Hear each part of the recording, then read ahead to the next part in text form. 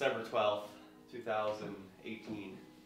We're in Portsmouth, New Hampshire, Blockchain Institute of Technology, waiting for Stephen to get here, and we're sort of chatting before our human action study guide book group commences for chapter one. And uh, we plan on doing these once a week and uploading them. Yep. We're just going to have our own conversation. I'm not really talking to the camera, we're talking to each other. But I wanted to give a, a brief introduction to what these videos are and what we're going to be doing. Um, going through the book in a year, you know, it's a little over a year's worth if we do one chapter a week. Yeah, how many are there? Um, 39, so I'm sure there'll be some parts that will go by slower. yeah. Um, yeah, okay, so there aren't as many as I thought.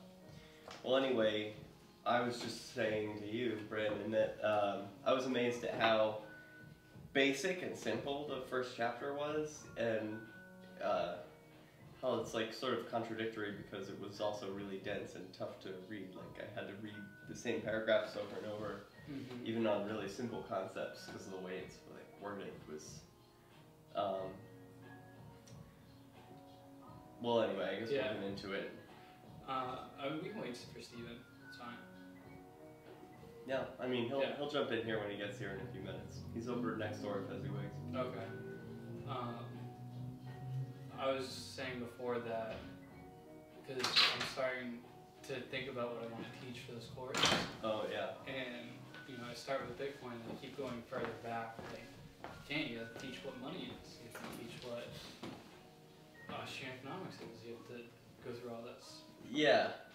Um, how people decide and how human it is to decide and how like cause and effect like humans are the only ones who can really analyze cause and effect. And just all of that most basic stuff like it's almost weird that they put it in that he put it in a book for people to read because it's like so obvious and self-evident but it's also foundational and important for this like the study of economics and how people decide to do what they do Right. well we're also we're using this study guide by robert p. Murphy who you should follow on twitter for some hilarious tweets but also he's really good um, at explaining these concepts and he teaches some classes on mises.org and so we're using this uh, study guide to go through the book. I've been listening to the audiobook on audible have a physical copy but um, to be honest i always fall asleep when i read it Yeah. it's so dense and hearing him hearing uh, whoever it is reading jeff riggenbach or someone else Mhm. uh, makes it makes it a little easier Yeah. See, I always fall asleep listening to the audiobook. oh really And I actually I had about an hour car drive back and forth yesterday, Yeah. and so I got a chance to listen to the audiobook, and that helped when I was in the car. the audiobook to yeah, supplement the book I mean I'm in Portsmouth and go back and forth to work here, so I'm never in the car. uh, So when I'm listening to an audiobook, I'm sitting at my house or lying in bed or right it's a more relaxed environment you're like yeah. not as engaged Mm-hmm. Mm-hmm. Um, but so I got through most of it in the audiobook, and then I found that the parts that I listened to the audiobook and then read, it was easier to read and understand after I um, hey, what's up? Hey. that makes sense yeah, Speaking of concentration while reading this book, I really had to concentrate. It was not like a book where I can sort of listen to the audiobook and like put it on one and a half speed and just fly through it. Like I had to sit and analyze every sentence and process it with my brain. It wasn't like a story. It, wa- it was, I don't know, I found it a little difficult. Well, what you said about doing the audiobook, audiobook first, it gives you like a quick pass and you Right. can't think about it yeah, because you can't Uh, stop, Yeah, but your brain like gets used to the words.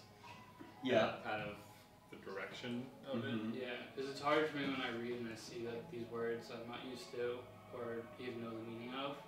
Yeah. So uh, it's hard for me when I read. So you have the whole thing. Yep. Wow. Which edition is that? I haven't seen that one before. It's the Ayn Rand cover edition. yeah. Okay, It's pretty thick, yeah. cool. you feel like a badass reading it though. Just like, oh. Um, yeah, I think it's helpful for me. I, I hate reading off of uh, like an iPad or tablet, and I don't. I like to read the words too. I don't like to just hear it. Well, so this study guide is great, Yeah. and they, excuse me, they have study questions at the end. yeah. Ooh. How would it be ideal for us to go into study questions in this conversation? Yeah, I would say so. Yeah, they seem pretty I'd say that's, thorough. that's what we should do. That's what we should do. Yeah. So the first section is purposeful action and animal reaction. Um, like I guess to summarize, basically, purposeful action is trying to achieve. It's like something you're consciously doing versus subconsciously doing or unconsciously. Um, Right. A goal. Working towards a, a an intention, a goal. So they define praxeology as uh, action for a means to an end. Right. Is that the definition? So the I guess the psychology part maybe starts a little bit before the means. Is how I interpret it. Like you you do an action, um, and then psychology can answer maybe why or how you did it. But the praxeology starts at the means. in actually performing something. Well, so it says what distinguishes praxeology from Yeah. psychology.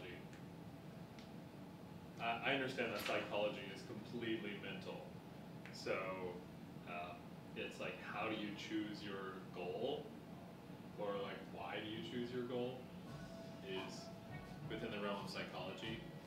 Um, but then how do you pursue the goal?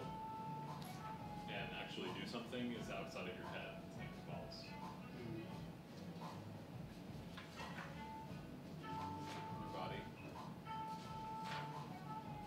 Thought another good point was I guess this isn't answering the praxeology question, but you always think as like it could be an action or an inaction, like the negative, the absent of an action. Um, I don't think that's too intuitive uh, when you think of like means to an end. You can also choose to do nothing, and that also is an action. Yes. As long as there is an end in mind. Right. Like if you have an end in mind and you think you- you're going to get it by doing nothing, that's acting. Mm-hmm. Um, right? But if you have no end in mind and you do nothing, you're just doing nothing. Right. Why doesn't action consist merely in giving preference to something? Well, I first of all, this kind of highlights why you can never believe what people say they prefer. Oh yeah. Because people will say they prefer one thing but then act another way. Like uh, we experience this all the time with people saying that they um, prefer cryptocurrency and then they never use it, and it tells me that they actually don't prefer using it, or they, they don't prefer it. It's revealed in their action.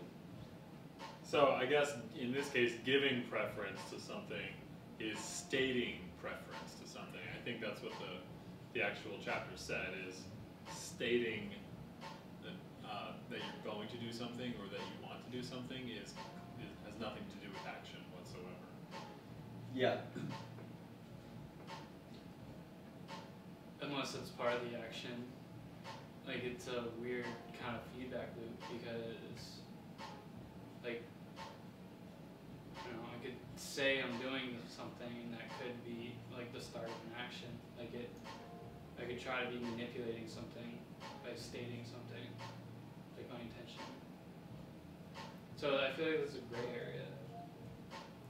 Like, if I don't know, I want everyone to leave or something, I could say, I'm going to leave, and maybe that gets you guys to leave eventually. Like, stating something could still be an action. Stating your preference for it. Stating your pref. I guess that is not your preference if it's part of the action. Well, how do we define action? It's like uh, Employing means to achieve an end. okay. So in this case, you're saying the be- means would be uh, using your your statement of intention to get the end of, of other people The, the difference in this case would be like if you stated, I prefer to be outside than inside, but then you stay inside, Yeah. then Right. that that preference is not action. Right. Okay. That makes sense. But also, I would, I would, I often redefine the word preference anyway as not a statement, but a revelation based on action. So it's like Yeah. Like your people only really are- prefer what they do. Okay. You can't believe what they say. Right. preferences seem to be revealed by your actions. They can't they can't be um, stated ahead of time. I mean, they could be give you a clue as to what someone's preference is. They might even not know what their preference is until it's time to decide, hmm. and then their preferences are really revealed. Or maybe is the is the goal your preference, like the desire that you have? Is that your ultimate preference? Let's see what he says about this.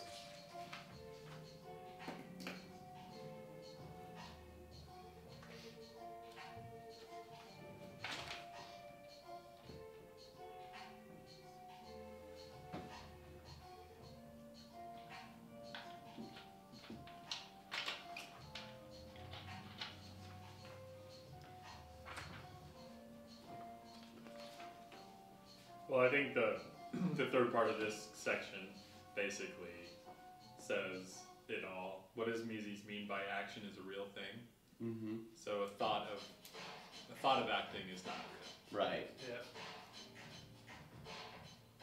I think they, throughout the chapter, they talk a lot about the bridge between like the material world and the abstract world, and so this is kind of where action is kind of where the two meet.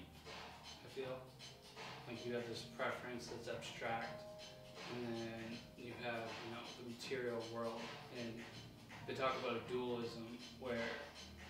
Um, we just have to make the assumption that the abstract world is completely different than the materialistic world. And I feel action is a way of, you know, trying to create that abstraction in the real world.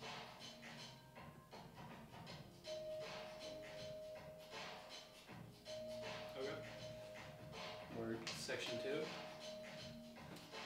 The prerequisites of human action. What's always the incentive for a man to act? And so I actually wrote these down because I thought they were pretty important. Um, you have to have three of them. You have to have an unsatisfied state. Right. You have to have a, a vision of a better state. Mm-hmm. And then you have to have the belief that action will take you from that first state to the second state. So something has to be making you uncomfortable. Right. And uneasiness. Yes. Like the, the it's in summary the pursuit of happiness is always the reason behind action. It's like I'm always trying you're trying to be happier. Whether you're pretty happy now and perceive you could be very happy or like uneasiness suggests to me that you're like miserable. But you could just Yeah. be you could be doing great and just want more. um, because you can envision a better Often I've heard that the distinguishing characteristic of humanity itself is people's ability to try and improve their situation. Yeah, well, he also says in the in chapter one that one of the defining char- characteristics of the human animal is the recognition of the um, correlation between cause and effect. The fact that we know that we can improve our station by action itself. and that was the third prerequisite. Right. I imagine it's completely impossible to attain happiness if you don't think you can make yourself better. Like, if you see no options for action, then you can't even imagine happiness. Yeah. So what about like the heroin addict when they shoot up? Is that happiness? Yeah, I don't think so. But in this case, happiness is always defined as satisfaction of the desire, the goal. Mm-hmm. It may not be rational. No, it is rational, It and is. that's Yeah. so that's another thing. I don't know if they're gonna talk. Yeah. Yeah, they so- talked about rationality Yeah. It- versus irrationality, but I had confusion about that. See, Maybe that's your that's your straight. opinion that it may not be a good idea. But in pursuit of their goal, it is rational because Their goal delivers. their goal is to feel the feel of heroin pumping through their veins, and they know that if they go buy it and use it, put it in a needle, then they will achieve that. hmm And their discomfort now is that they, they know about that feeling and they don't have it. The sort of, um, yeah, jumping ahead, I see the, the the question is why must the term rational action be rejected as pleonastic or redundant? Because all actions are rational by definition, by like uh, a priori or whatever the, the expression is, where if people are choosing to act this way, then they have made a rational decision somehow. Whether you your opinion is that it's rational or not, they their opinion is that it's it's rational So because they took that action. The concept of rational is more in, in that you've compared possible um, means to an end. Mm-hmm. So you have a logical, purely logical path from a mean to an end, Yeah. and you've you've like measured one versus the other as far as means goes, and compare which one is more effective. Right. Okay. Um, and so a lot of, I know there's this whole like thought process in economics, um, in mainstream e- economics, where one, there's really basic um, things they might teach people in school that like people are rational, like there's rational consumers or rational markets. Yeah. Um, Assuming a rational market. yeah, that everyone is always doing the most productive thing, and then Yeah. um, there's huge criticism of that. And then there's this, this whole other group of the mainstream which says people are not rational, um, that they're irrational and they make poor decisions. Mm-hmm. Um, and that, like, I totally see that coming out of, like, people in Boston in particular, and, like, lefties who want to, who, like, want to take care of inferiors, like, people who aren't as smart as them Mm-hmm. they say people are being irrational and they like reject, Oh yeah, yeah. they reject this idea of, We have to like- protect these people who don't know what's good for them yeah by making the decisions for them. right and so um, that first of all is really annoying uh, but I guess what they're saying is not that they're irrational in the Misesian sense but that they are inefficient Ah. in their empl- employment of means to achieve their end. So they don't have yeah, efficient means. Mm-hmm. But they're still weighing options. Okay.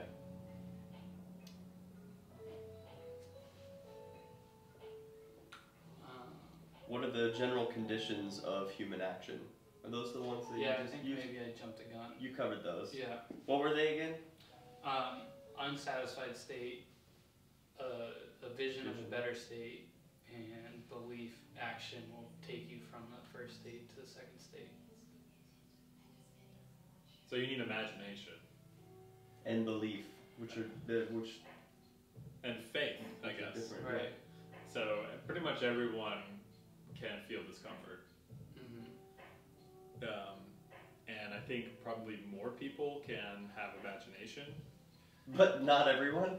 So I think I think No, everybody everyone. has imagination, it, because you know if you have to go to the bathroom, you you still have to vision. Oh, I'm gonna go to the bathroom over there, or Yeah. you still have vision. I'm just gonna go right here. Well, unless you're not, baby unless you don't act at all, and, the, and it just comes out, and that would be just an animal reaction. Right. True. Yeah. I guess babies don't make that decision. Yeah, I I think think somewhere they said that you know discount just babies from this whole. Right. They're not. They're not really humans yet, or I don't know how they phrase it. They're not. I, I forget what the terminology they use. I'm pretty sure he's a human. oh really? Well, because, because they probably because They're not. they don't see cause and effect the way that a uh, slightly older person would. Right. Like you, they don't recognize that. Anyway, uh, why is it tautology to declare that a man's unique aim is to attain happiness? What is tautology? A tautology is uh, it's redundant. It's uh, it's It's like definitional. self-evident. Yeah, it is definitional. It's like uh, Yeah. Okay. Let's go to the exact word. Tautology. The saying of the same thing twice in different it's words, redundant. generally considered to be a fault of style. They arrived one after the other in succession.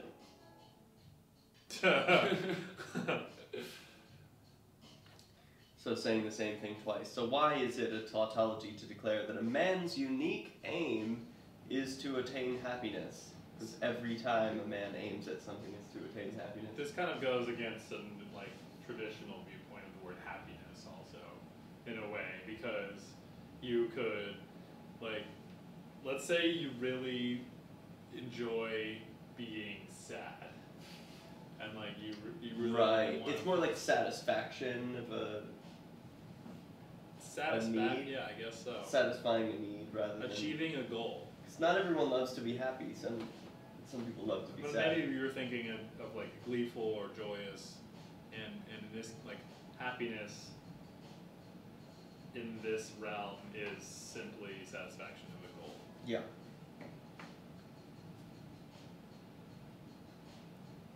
What distinguishes man's behavior from animal behavior? So I actually highlighted this because I thought it was pretty important. Um, so a man renounces the satisfaction of a burning impulse in order to satisfy other desires. He's not a puppet to his appetite. A man does not ravish every female that stirs his senses. He does not devour every piece of food that enters, entices him. He does not knock down every fellow he'd like to kill. Mm-hmm. So, a man or a human can suppress immediate instincts and desires for longer term goals. Wow. Yeah. They can override some to pursue others. Yeah, they actually used override.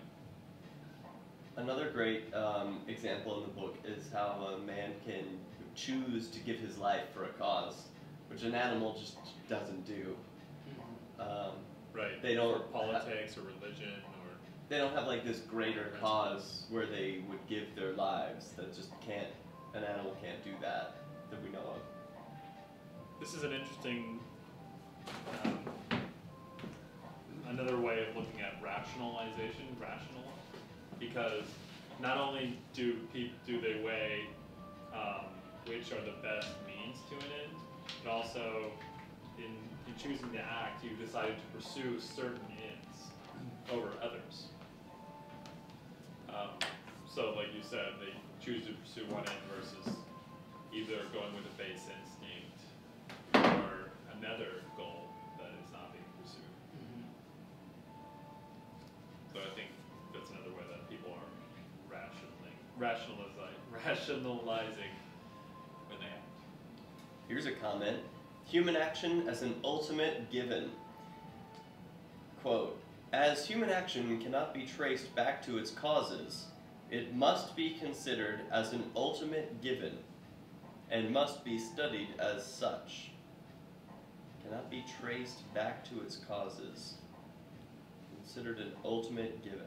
In the chapter they talk about, he talks about dualism being something that this philosophy accepts, and that um, there, like, because we don't understand the actual physical, mechanical reason why people choose things, like, um, then it's it's treated as a given that they did, they just are. We don't know if it's like totally mechanistic, where it's just atoms and molecules and, and like gravitational forces and all of that, or if it's something outside of this realm altogether, Hmm. or what it is.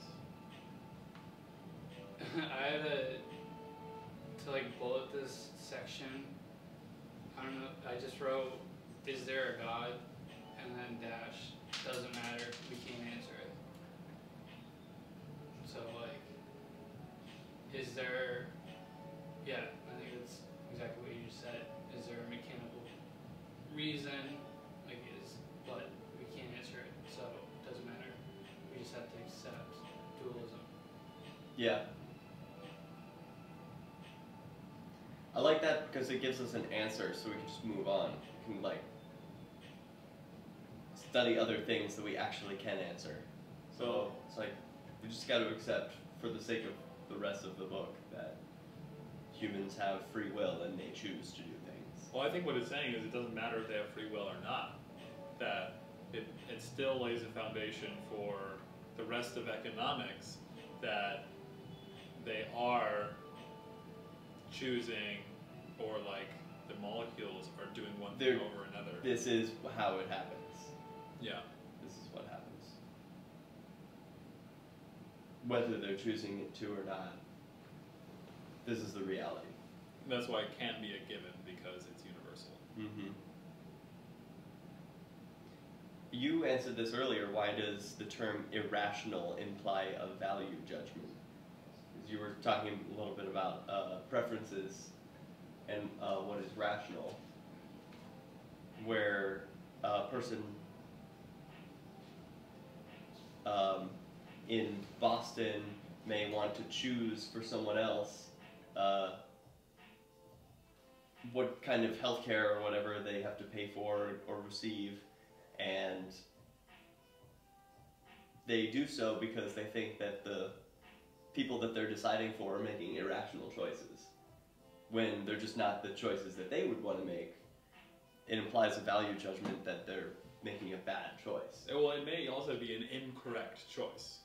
Like, Yes. Like, like the person who they, they say is irrational could very likely look at two choices, one that is definitely more efficient, and choose the worst one. That's Yeah. One that's less efficient. Right. Um, but they're still rationalizing the options, Ah. okay. Right? But like this over this is greater than this over this, as far as a, a ratio goes. But Mhm. they might just choose it wrong anyway. Okay. Yep. Or maybe they don't even know the um, a more efficient way.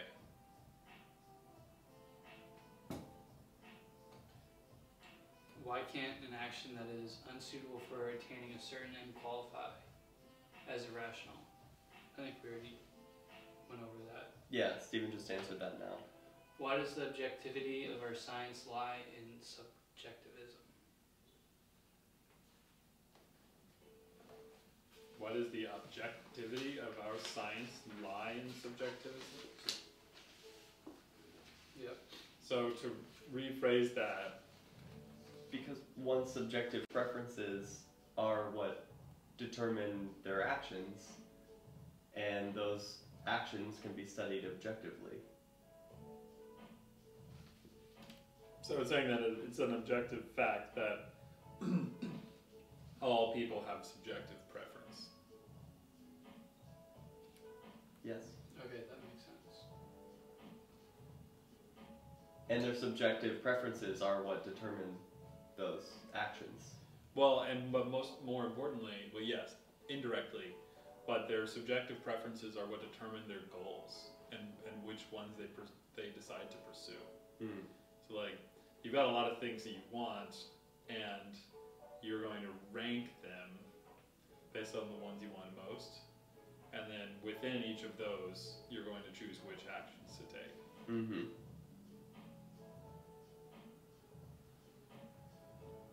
Causality as a requirement of action. In what way does causality influence human action?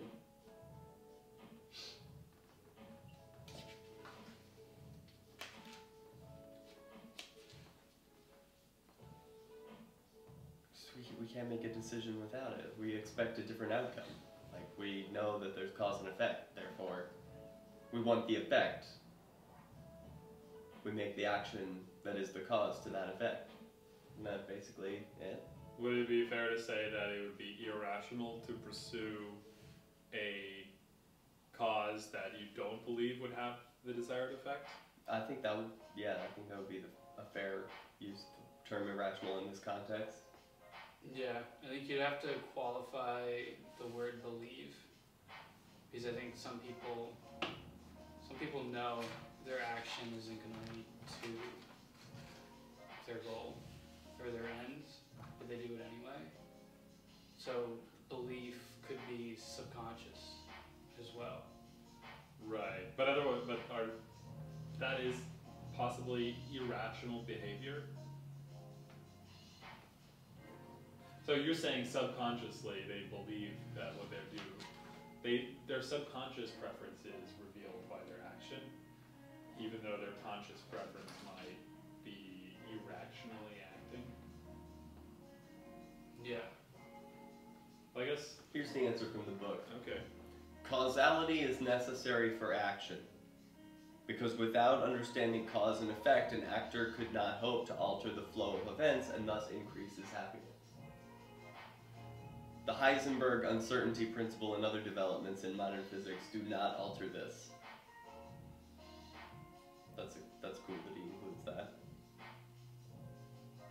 I think that's like the third requirement for action too. It's the you know the belief that the action will take you from your first state to your desired state. Yeah. Humans understand causality, cause and effect. We want to increase happiness. Therefore, we make actions to, that are the cause of the effect that we want. But I don't think like it's not. You have to consciously think about it in order for for it to be action per se. I think. Yeah. Well, you the things that you do subconsciously, like is breathing is considered action. I don't know. I, th- I feel like that's uh, considered instinct. So you're not thinking like, I need my blood to be filled with oxygen.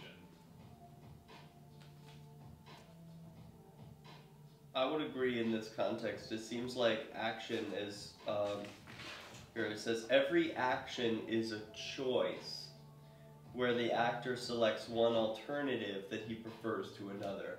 So, in the context of human action, oh, yeah, breathing is an action in English. But in this context, actions are things that one chooses to do. So I could see a problem. So that narrows down the scope of what action is. But then there's a lot of things that you do that are probably driven by your subconscious. Yeah. Yeah, like without thinking. Yeah, I'm sure there's things that I do that I don't really even realize I'm doing it because I have some subconscious goal. Yeah. Yeah. But I think that you have to separate from are the goals conscious versus subcon subconscious versus the actions? Like because if you have a conscious goal then your subconscious is definitely going to act on achieving that goal. Like if you tell I mean I guess if you tell it to. I would think But- involuntary uh, mechanisms like breathing and blood pumping just don't qualify as, as actions. So what if I am looking for love Yeah? subconsciously? Yeah. Maybe consciously I'm not. And what if my actions reflect like my I do things subconsciously that, you know, when a girl walks in and you stand up straight or something like that. Yeah. Um like wouldn't like that's an action and it's driving me to do something. I would say not action. It's and it goes back to like animal instinct, and like you're especially talking about a girl, which is goes down to breeding and Yeah. procreation, and th- those things are just like default. You're a mammal. hmm You're going like the default is to do these things that your hormones drive you to do. Yeah, those don't seem to me to be. While they're in English, they're actions. They don't seem to be the type of action that is a human action. It's uh, an animal action. So what if it wasn't a primal thing? Maybe it's I'll spend a little bit more money to like. So now, what if he's a consumer and it's not? He's, he's still making an action to like maybe procreate. Maybe he's showing his wealth, Right. And so that's out and that's affecting like markets and stuff Yeah. because he's acting on this subconscious instinct that But what's the goal in this case that, that uh, he's trying to achieve? to show as well. Or the goal is to attract a, a mate. So I would say if he buys a car that's more expensive and showy with an intention of being attractive to mates, then that is a human action because there, there's an intention behind And it. And an awareness of if he- causality. But if he does it without knowing that he's that he's doing it for attractiveness, then it's an animal action, not a human action. And if he does it without being aware that it's going to achieve his goal, then it's not in this under this definition a human action. Mm-hmm. Like you have to both have the goal and know that what you're doing is going to achieve it. I think everything here, the goals are definitely within the realm of conscious thought. Okay. Why is it inevitable? In order to act, to know the causal relationship between events, processes, or states of affairs. If a person falsely believes in a casual in a causal relationship, can this allow for action? Yes, Yeah, they can. it's a Because- very inefficient action. Well, okay, so to repeat, why is it inevitable in order to act to know the causal relationship between events, processes, or states of affairs? Because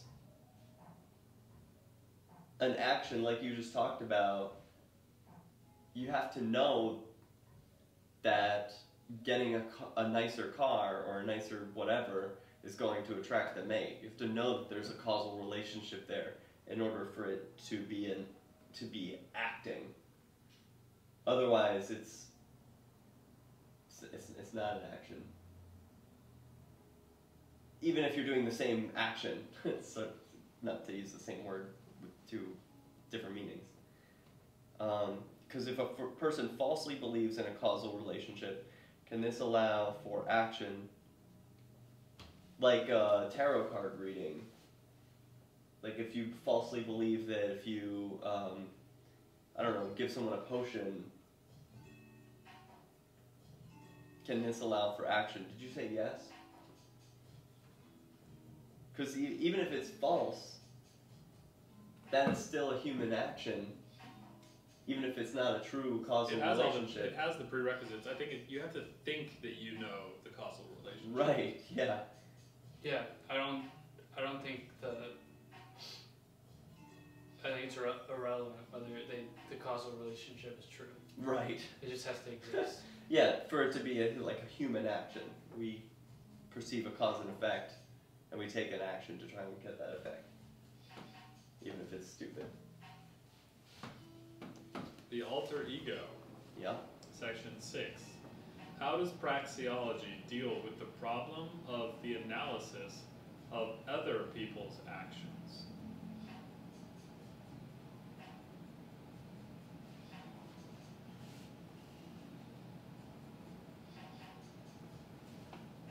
So how does praxeology analyze others? This was by far the hardest section for me to read. So it says here all events must fall in the realm of teleology or causality. That is, all events must be ascribed either to the intentions of an actor or to the mechanical unfolding of physical law.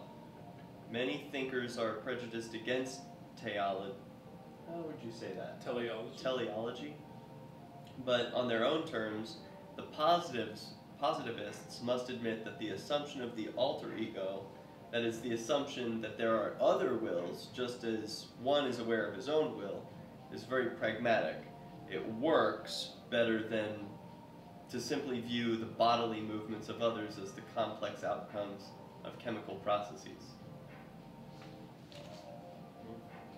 So that's how it deals with other people's actions. Okay, so you could you could assume that you're the only consciousness and that everyone else around is just moving because of inertia and all the things that they do. Like one thing I'm kind of thinking and struggling with is imagine a person back to your like you get a car in order to show that you are like a suitable mate. Mm-hmm. What if you're raised in a world where like you just you're around people who have nice cars and get mates and then you see people who don't, and you don't make a conscious decision to like act and do that. You just kind of get the car and then get the girl. Right. Um, that like I could see that person as not acting at all, and then they're just events are unfolding based on like physical properties of the world. But their neighbor might be might like perceive they like they're like how how do I get a girl? Like I'm struggling to get a, a wife. And then they see, well, what if I get a car? Then that will give me a wife. Um, that person might be acting, whereas the other person who maybe just like instinctually does things, they're not acting at all. Um, so I guess it deals with that in that some of the things other people do are going to be action, and some of the things they do are going to be animalistic or Or instinct. instinctual. Yeah, at first it would seem that an animal's instinctive behavior is a middle ground between teleology and causality, yet instinct is simply a term to describe the motivation of which we are ignorant.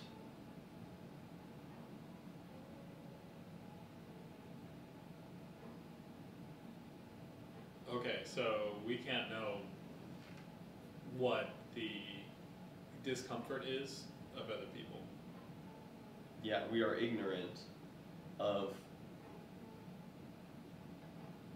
how or, or why other people act, what their motivation is. So we don't and know, we call that instinct. and we don't know their goal either, Right. per se. We know their actions. Um, and we can assume that sometimes they're rationally acting. Yeah. Like standing up straight when a girl walks in.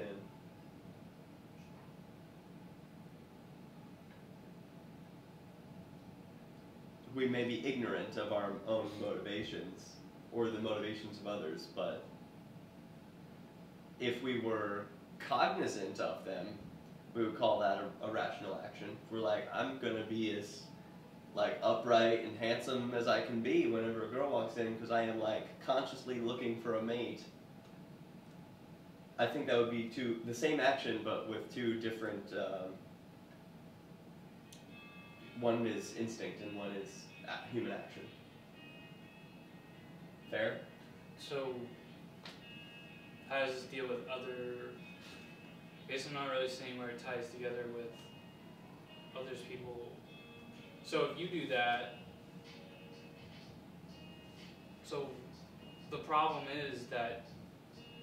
So how does it deal with the problem that I don't know your motive, or I don't know your ends? Right. How. Like, how do we solve this problem? Like, if I'm trying to analyze, okay, Derrick just stood up straight. Why? I guess it assumes that all people are, are, are making rational decisions for themselves. Regardless of whether or not we know their motivations, uh, all So, the analysis would take the assumption that you're standing up straight for your pursuit of happiness. Yeah, that sounds right. Sounds right to me. Maybe we'll get an answer from more further questioning. Uh, what are behaviorism and positivism unsuitable for the ex? Oh, why are excuse me? Why are behaviorism and positivism unsuitable for the explanation of the reality of human action? Behaviorism and positivism being I don't have those written down. You can find definitions for those. Yeah, please. I think positivism is mechanistic view of the world, perhaps that um,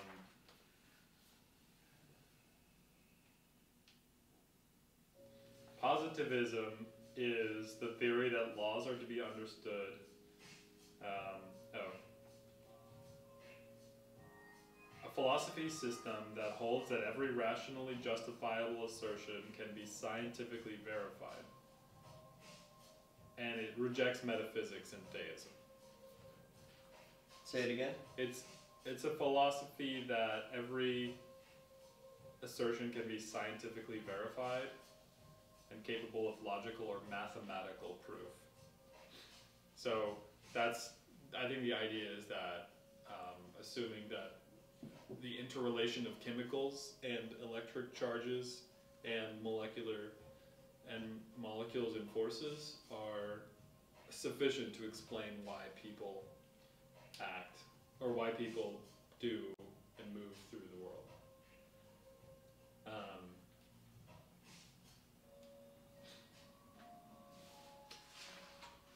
Behaviorism is the theory that human and animal behavior can be explained in terms of conditioning, without appeal to thoughts or feelings, and that psychological disorders are best treated by altering behavior patterns. hmm. So, why are behaviorism and positivism unsuitable for explaining reality of human action? I think the first with positivism, we, we touched on that at the beginning, that we don't understand the exact, um, we can't explain why people decide things uh, on, a, on a physical level, on a mathematical level. Yeah, both of these things seem to totally discount um, people's intention, which we don't always know. Behaviorism is totally correct that like patterning behavior will make you just do things automatically.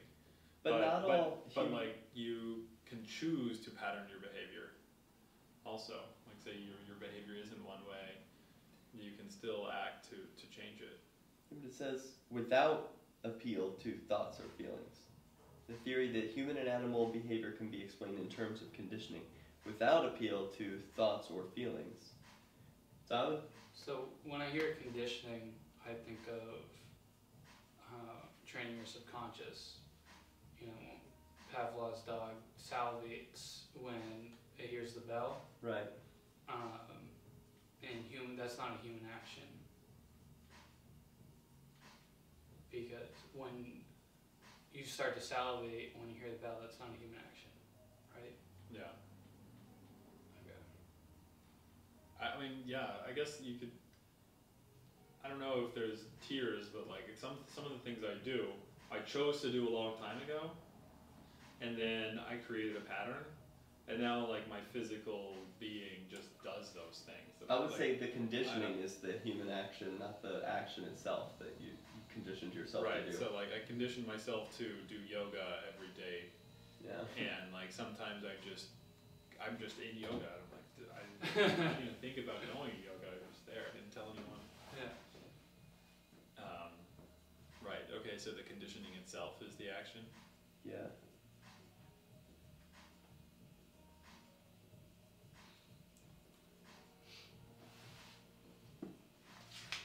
Why are causality and teleology the only appropriate approaches in the field of human research?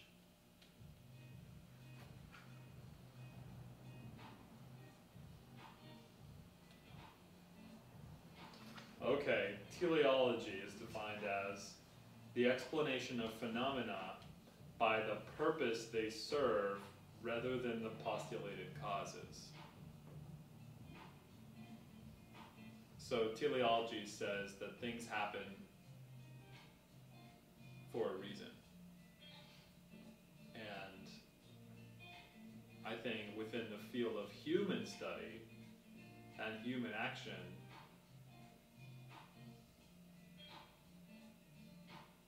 you can explain action based on their purpose because people have things that they want to achieve. And so that would be their purpose.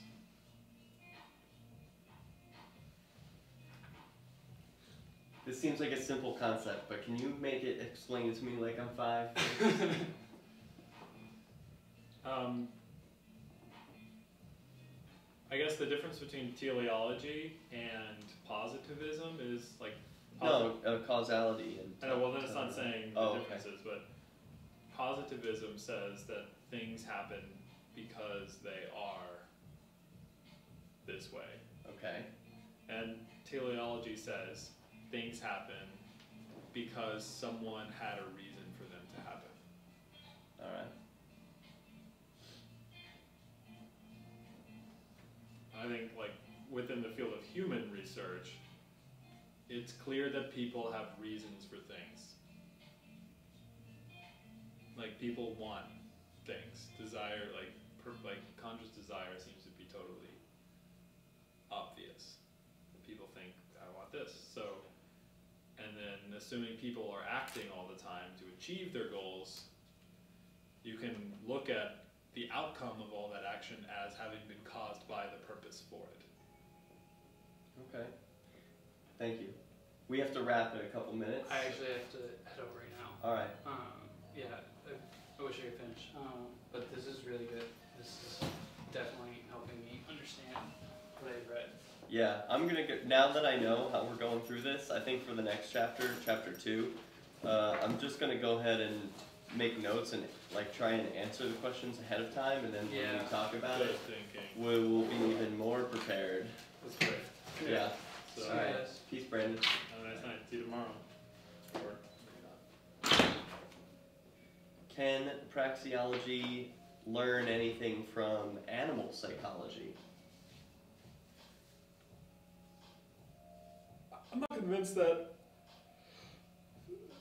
some animals don't have uh, purposes, like and goals, and they like are thinking thoughts. I mean, like, why? How are humans even thinking in the first place? Like, Yeah, and the, uh, some animals seem to have at least a certain level of consciousness. With uh, the example being like mischievous animals, where their their purpose seems to be like to delight in causing harm. Like cats who are like ready to just knock something off the table because they're like, oh, oh, oh, this is gonna piss you off. Oh, stop it, stop it. and and uh like what purpose does that serve for their reproduction or whatever it just seems to be like delightful um